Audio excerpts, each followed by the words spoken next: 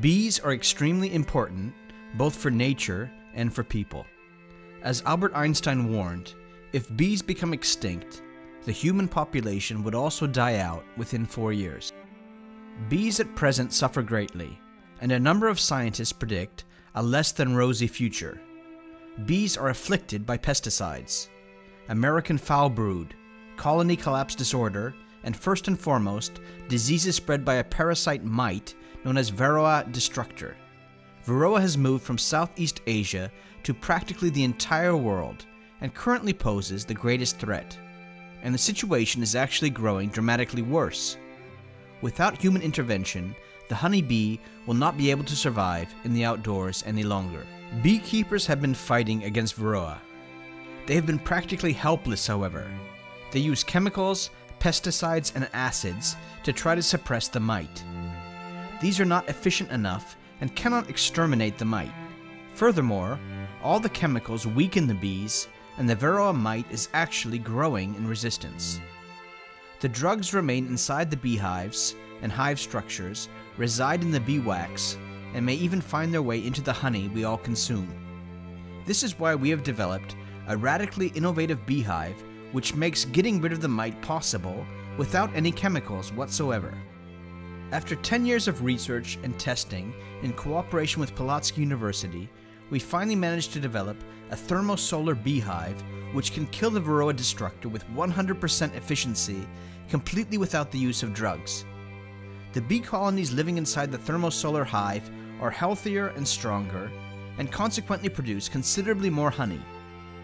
Thermotherapy has been known for a long time already, but has only been utilized rarely and with difficulties. And it has never been applied in such a progressive way. There is no need for any pesticides, no drugs to treat the bees, the honey from our beehives is clean and pure. The solution is revolutionary, as it solves several problems at the same time. The thermosolar hive cures with only sunshine. It exploits the fact that compared with bees, the varroa mites are extremely sensitive to increased temperatures. It works as follows.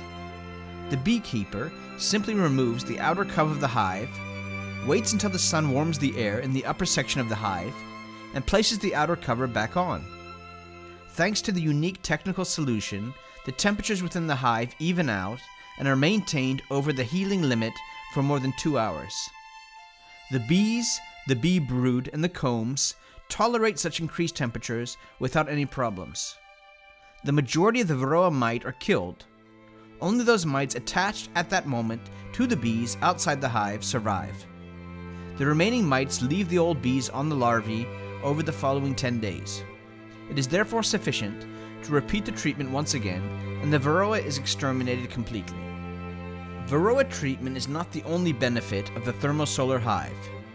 Thanks to utilization of the solar energy, the hive saves the honey reserves, helps the bees survive winter easily, the bee colonies develop much faster in the spring, and increase the honey yield. The technology is proved scientifically and practically as well. The beekeepers found it to be successful.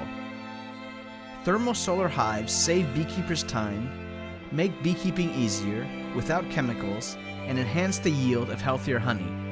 We want the thermosolar hive to reach beekeepers from all over the world so it can help save bees and increase the quality of honey.